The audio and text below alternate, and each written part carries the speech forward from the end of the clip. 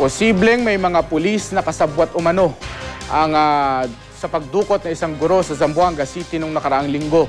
Ayon yan sa Crisis Management Committee na binuo ng lokal na pamahalaan. Nakapagtataka raw na inabot ng 40 minuto bago nakaresponde ang mga pulis sa kidnapping. Napag-alamang nakipag-usap pa raw sa mga suspect ang isang pulis na nagbabantay noon sa tabing dagat kung saan isinakay ang bangka ng biktima. Naniwala raw ang pulis sa sinabi ng mga nakapa, nakapangsundalong kidnapper na nagbabalikatan exercises lang daw sila. Wala pang komento rito ang Zamboanga City Police pero nagsasagawa na raw sila ng investigasyon. Ayon sa mga otoridad, posibleng sa basilan dinala ng mga suspect ang biktima.